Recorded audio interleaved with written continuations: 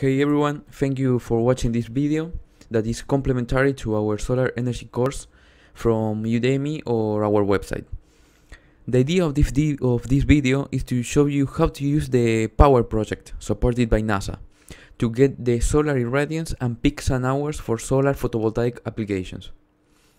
We are going to see how to obtain this information for any region of the world and for different tilt of the PV modules and for each month of the year.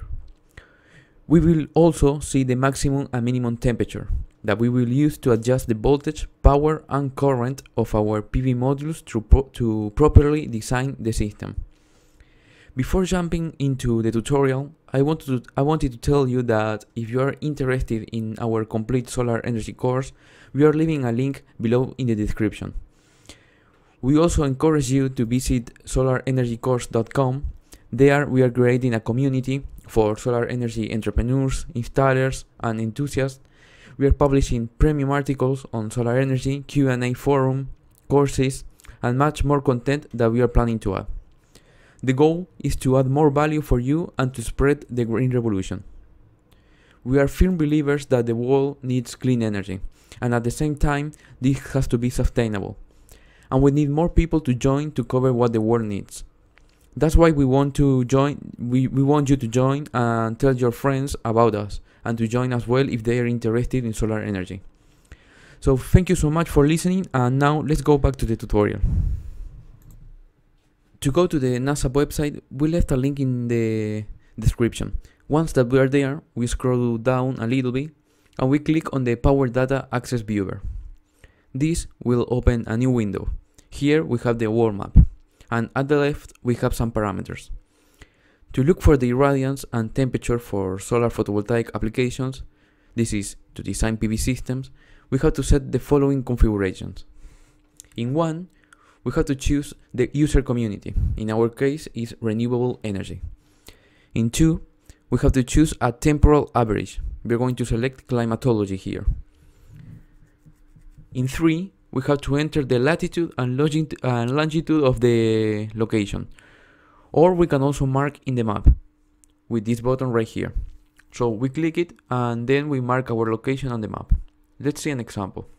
Let's take Austin, Texas for this example. But you can select any part of the world. Look, if we zoom out, if we zoom off, we have the whole world map. Okay, so Let's select for our example Austin, Texas. So we mark it on the map and the coordinates are automatically set here.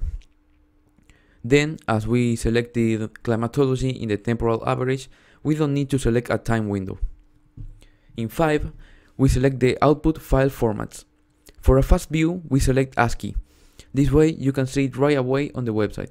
Also, if you want to import this data, like for example to the Excel that we created for our solar energy course for estimating the energy generation, we can select the CSV output format. Now, in 6, we have to select the parameters that we want to see. In our case, we were looking for the radiance at different tilts of the PV modules and the temperatures. So for this, we look on, we look on the option meteorology temperature right here and we select the maximum temperature at 2 meter and the minimum temperature at 2 meter. Now for the radiance we scroll down and we go to tilt solar panels. Here we select the solar irradiance for equator facing tilt surfaces set and we select set of surfaces so we can see the the generation for different tilts. So now awesome. We now scroll down to 7 and we submit. It can take a little bit to collect the data here, so just wait. So here we have the results. For this case, let's look at the ASCII format, so we can visualize it, the results right here on the web. On another video, we will show how to import this data from the CSV file to use it with the Excel file that we created for the course to estimate the energy generation. To look at the results right here, we have select we have to select the parameter. In the, in the case of exporting to the CSV file, you will see all the parameters together in the file. So let's select the solar irradiance first. We select it and we click ASCII. This will open a new window with the information. Let's analyze this data. We have the explanation of each parameters right here and below we have the table with the data. In the first two lines we have the maximum and minimum temperature at 2 meters and on each column we have the maximum and minimum temperature for each month of the year. And in the last column we have the annual average. Notice that these temperatures are given in degrees Celsius, so be aware of that. Now let's see the third column. In this case, we have the solar irradiance with a tilt surface horizontal, meaning this will be the value in the case of having the modules completely horizontal or with 0 degrees inclination. And again, we have the values for each column and the annual average. Then, in the following line, we have the solar irradiance for an angle equal to the latitude minus 15 degrees. In this case, the latitude is 30 degrees, so this is going to be 30 minus 15, which is 15 degrees of the of tilt for the PV module. Something that I want to I want to mention is that these values are given in kilowatt hour per per square meter per day. So if you want to pass this to peak out peak sun hours, just divide it by the one kilowatt per square meter irradiance, and in this case it will be the same number just the units are changing changing but for example for May with an angle of the latitude minus 15 degrees the peak sun hour is 5.5 for Austin Texas so then in the following lines we have the values for the latitude plus 15 degrees and the values for 90 degrees or vertical modules then, in the next line, we have the solar irradiance considering that the angle is optimal for each for, for that season.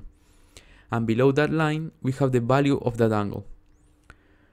Notice that this change depend this change depending on the season, and naturally the angle is smaller on the summer season, as it is better to have the modules horizontal on the summer, as the sun is high in the sky, and in winter, as the sun is closer to the horizon, it is better to have the modules with a higher inclination. In the last line, we have the value of solar irradiance if we use a tracker.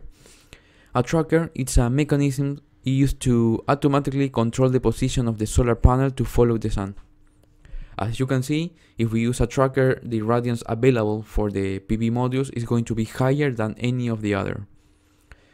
So awesome, we look at how to obtain the solar irradiance and maximum and minimum temperature for each month on a given on a given season. So now we can use this information to design our system. In the case that you are enrolled in our course on Udemy or in our website, go back to the next video over there. And in the case that you are not enrolled, we encourage you to do it if you are interested in learning about solar energy and we also encourage you to visit us at solarenergycourse.com. In the link in the description, we leave you the links to the NASA Power Project and the links to our website and to our course on Udemy. We also leave you the link to download the to, to go to the other videos where we explain how to use our Excels. Thank you so much for watching and see you soon.